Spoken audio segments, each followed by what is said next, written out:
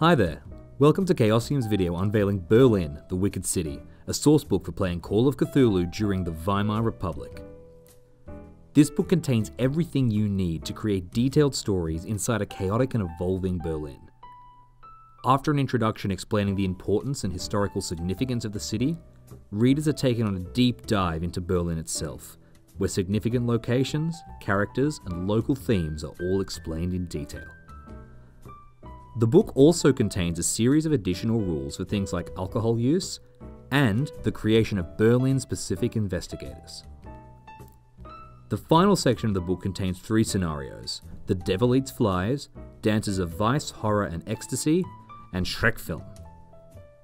Those interested can see a full playthrough of the first two scenarios on the Chaosium YouTube channel. You can find this book at your local game store, all linked in the description below. Thanks to David Larkins, Mike Mason, Lynne Hardy, and everybody that made this book possible.